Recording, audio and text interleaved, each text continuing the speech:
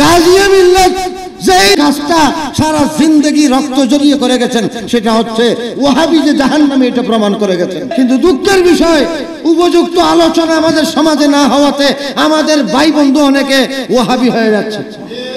এখানে একটা মাদ্রাসা দেওয়া হয়েছে, আজিজিয়া আলা হজরতের নামে, আলা হজরতের খলিফা, ইমাম শের বাংলার নামে এখানে আজিজিয়া রজবিয়া মাদ্রাসা দেওয়া হয়েছে।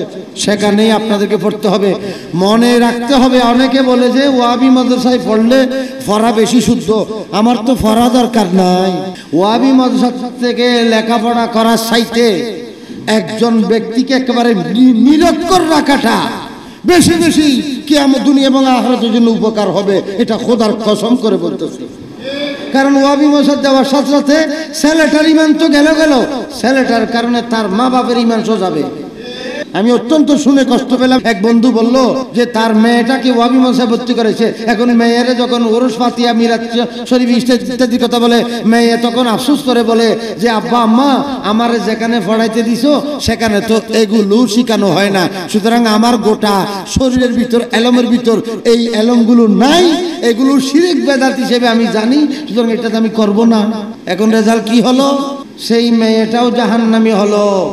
আপনাকেও জাহান্নামি বানালো। মেয়ের স্বার্থে, ছেলের স্বার্থে আপনাকে মেয়ের কথা মানতে হচ্ছে, ছেলের কথা মানতে হচ্ছে। অর্থাৎ ফরতে দিয়ে ইমান হারা হলেন। গাজী মিল্লাতের এত নিরাপত্তা কিসের বলে? নবীর সাথে সম্পর্কের বলে। এন্তেকাল করার আগেও বলে, ওসিয়ত করে গেছেন বেশি গভীর করে আমাকে দাফন করবে যাতে আমি নবীকে সালাম দিতে পারি। এরকম একটা কথা আছে না? সবাইকে কবর দিচ্ছে, বসতে পারে মতো, কিন্তু গাজী মিল্লত ওসিয়ত করছেন, আমাকে কবর দিবার দাঁড়াইতে পারি মতো। কারণ দাঁড়িয়ে সালাম দেওয়ার পক্ষে সারা জিন্দগি যুদ্ধ জেহাদ করেছি।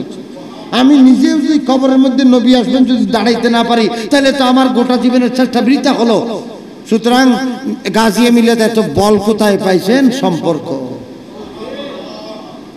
আমি শুনেছি গাজিয়ে মিল্লার সম্পর্কে শুনেছি। দূরের থেকে ফতোয়ার জন্য আসলো। উপস্থিত গাজী মিল্লতের মনে ছিল না, মশালা জানা ছিল না। শাল ঠনে শালগর ছিল। সবাইকে ঘরের মধ্যে বসিয়ে রেখে তিনি বের হলেন। বের হয়ে গুনগুন গুনগুন কার সাথে যেন কথা বললেন, ভিতরে গিয়ে মশালার জবাব দিলেন। সবাই কৌতূহল করে জিজ্ঞেস করলেন, হুজুর, বাইরে কার সাথে কথা বললেন? তাদের চাপাচাপির কারণে রহস্য রাজ ফাঁস করে দিলেন, রহস্য প্রকাশ করলেন। আমি হজরতে ইমাম আজম আবু হানিফার সাথে কথা বলেছি। কার সাথে কথা বলেছি? ইমাম আজমের সাথে কথা বলেছি। ইমাম আজমের একটা কথার সাথে ইমাম আজমের সাথে তিনি অভিমানও করেছিলেন। ইমাম আজমের একটা কিতাব আছে। সেই কিতাবের মধ্যে আমাদের নবীর আব্বাজান, আম্মাজানকে কাফের হিসেবে বলা হয়েছে।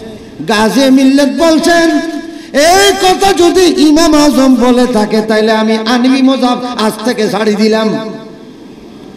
রাত্রে গভীর রাত্রে স্বপ্ন দেখল, ইমাম আজম চলে আসলেন। ইমাম আজম বলছেন, ও আজিজুল হক আমি লেখি নাই, আমি লিখেছি। আল্লাহর নবীর মা বাপ দুজন ইমানদার ছিলেন। এখানে একটা শব্দ কাটিং করে ফেস্টিং করা হয়েছে। আল্লাহ নবীকে আল্লাহ হেফাজত করবেন, নবীর সাথে সংশ্লিষ্ট সবাইকে হেফাজত করবেন, নবীর সাথে কোনো পথে সম্পর্ক রাখো। নবীর সাথে কীভাবে সম্পর্ক রাখতে হয়?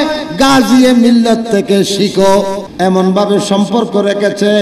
ফেকার জন্য, ফতোয়ার জন্য ইমাম আজমের সাথে সরাসরি সম্পর্ক হয়ে গেছে। কোন মশলায় সমস্যা হলে ডাক দেয় ইমাম আজমকে। ইমাম আজম তাহার ঘরে চলে আসেন। কোন বেলায়তের শক্তি লাগলে সরাসরি ডাক দে হজরত খাজা খিজির আল ইসলামকে খিজির আল ইসলাম প্রত্যেক দিন বাসের মধ্যে হাটাজারি থেকে অক্সিজেন বা মুরাদপুর পর্যন্ত যাওয়ার সময় হজরত গাজিয়ে মিল্লতের পাশের সিটের মধ্যে একজন মানুষ বসে যায়, প্রত্যেক দিন বসে যায়, ফতের মধ্যে নেমে যায়। তারা তারা কি কথা বলে? পার্শ্ববর্তী অনেকে গুমগুমানির আবার শুনে বুঝে না। একবার না, একবার জিজ্ঞাসা তো করতে হবে, নইলে যে খিজির আল ইসলাম, এটা আমরা জানব কেমনে? আল্লাহ কোন আল্লাহর বন্দা দ্বারা গাজিয়ে মিল্লাতকে জিজ্ঞাসা করাইলেন যে, হুজুর, আপনার সাথে উঠিয়া বসে গেছে, আপনার পাশে আবার নেমে গেছে, উনি কে? উনি খিজির আল ইসলাম। আধ্যাত্মিক সম্পর্ক, নবীর সাথে তো, নবীকে তো অন্তরে জায়গা দিয়ে ফেলেছে। নবী তো সবসময় সাথেই রাখেন। বাদ বাকি শরীয়তের ফতোয়া লাগলে ইমাম আজম থেকে উদার নেন। আর বেলায়েতের শক্তি লাগলে কার থেকে? খিজির ইসলাম থেকে সম্পর্ক, নবীর সাথে সম্পর্ক থাকলে হেফাজত হয়ে যায়।